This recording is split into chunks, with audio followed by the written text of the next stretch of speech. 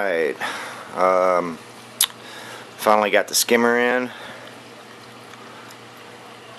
Seems to be doing okay. It's got a break in.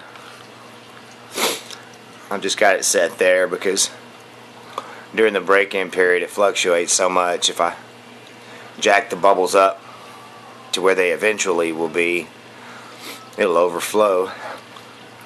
And we don't need that. I've got it sitting about seven, seven and a half inches of water. Seems to be working fine. I uh, got some gravel for the refugium. I took out the bio balls and the sponge. I even put me a little bit of Chaeto in there. Let it start growing. The experiment is can the Chaeto live in an environment where there's still trace amounts of ammonia and nitrite? Well, we'll see. And it is still in its cycle. It's been about two and a half weeks now. I haven't really seen the kind of results I would have expected from Dr. Tim's. Um, like I'm in no rush.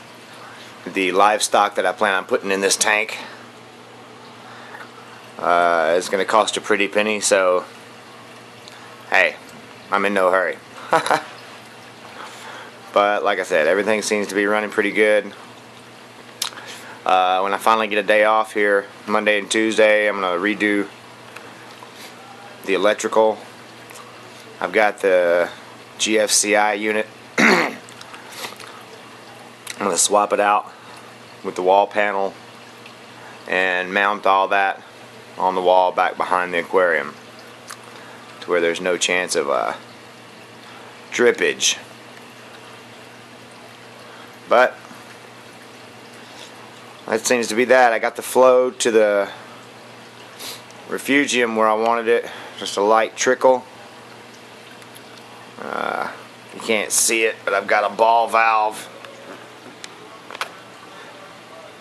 behind there, which kind of diverts some of the drain water to the refugium.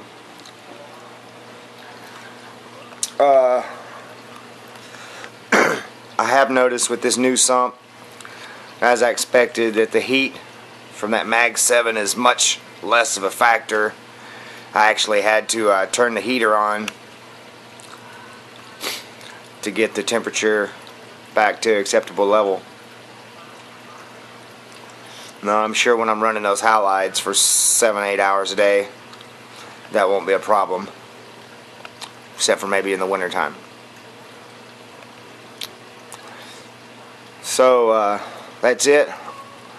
I'll keep you posted as the cycle continues and looks like I'll be shopping for a rose anemone pretty soon. I'd like to put the anemone in first, make sure he gets a good footing before I put the clowns in there and they start driving him nuts hosting.